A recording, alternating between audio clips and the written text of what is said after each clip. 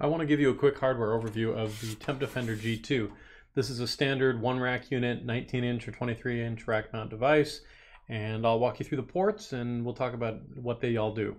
So if we start here on the front panel, you can see the name, Temp Defender G2 there. Uh, you have a USB craft port, and that's to log in and do initial unit configuration. You don't really need to use that because you can just use the default IP and get to the web interface and then change the IP to whatever you want. But that's available, and there's some good debug in there, a lot of handy tools in a text interface that you access with the USB. Then you've got a variety of different LEDs to tell you about the system status, and these can help for diagnosing setup issues, or if you're on the phone with tech support, it can be good. And the user manual has a big table that explains what each blink pattern and color on these LEDs mean. You have an acknowledge button. This would be if you have an active alarm out at the site and you want to tell everybody else on your team that you're working on it. You can just push acknowledge and that will silence any um, alarm sounds that are coming out of the speaker here. And you can see you have this speaker and there's a volume knob you can adjust how loud it is. Some of the original models didn't have this, and some wily technicians would poke the, through the uh, metal with a needle or other uh, sharp object and puncture the speaker, and we don't want that. So we give you the ability to customize the volume to your liking. And then we'll also put on all of our units a part number, but also a board ID. And if you've got any trouble, this will help us trace exactly what build options you ordered.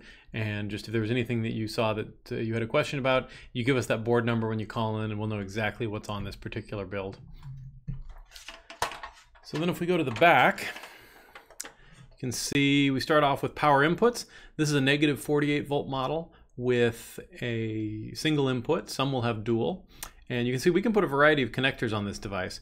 And so uh, NEG48 with this particular connector is here, but we can do Wago and locking type connectors, so that's why the metal has extra cutout. And you can see that it accepts a pretty wide range of voltage around negative 48, so we always want our equipment to be last to fail. So if you were to have a voltage situation at a site, we want our unit to keep trucking along. So it can tolerate a pretty wide voltage centered around negative 48. You have a GMT fuse, half an amp here just to protect the device, and you can see a power and a fuse alarm light. This will let you know if you've done things like wired your power backwards. Then we have the alarms. You have eight alarm inputs on this device, and these connectors just click. So you stick your wire in the bottom and then you flip the gate down. A little hard to see. I'll try and turn that. Uh, it's pretty dark. Let's see. There we go. Get a little closer and get some shine on it. Uh, so there's these levers across the top. You just stick your wire in the bottom, and once you've got it stuck in, you just flip the gate closed with your finger, and they're pretty easy to operate. Then, so after your eight alarm inputs, you have six analogs, and analogs are useful for any kind of voltage or current. You can do negative 90 to positive 90 volts. So if you want to do a battery string voltage, anything like that, it'll work. Zero to five volts obviously will also work. It's the sensor standard. And then if you want to, you can go to four to 20 milliamp operation for other sensors. And you can do that on a one-to-one -one basis. You just undo this one screw and then stick your screwdriver in the slot and rotate this around. It's attached right here. And then that will expose six dip switches and then you can toggle each one if you want to go to current mode. Just be sure that you know what you're doing because you can burn out the resistor there if you've got it set up for current and you're still feeding in voltage. So just be cautious, but it's a nice feature to be able to toggle those analogs back and forth. Then this Temp Defender has three relays. These are the opposite of a discrete input. These are discrete output contact closure relays. So you can control a generator or backup system. If it's anything that you could flip a switch or push a button, you can wire it into these ports and you'll gain remote control, either automatically by setting it up in the web interface, or you can just log in manually and tell it latch relay 3, and it'll do whatever you have it wired to do. There's a internal temp sensor here. This is just ambient, kind of a basic temperature monitor right in the unit, and it may not be totally accurate if you have another piece of equipment that you want to monitor. So that's where these digital sensor ports come in. This is a, our D-wire interface, and you would connect up to 16 D-wire sensors to a single one of these ports and just daisy chain one to the next.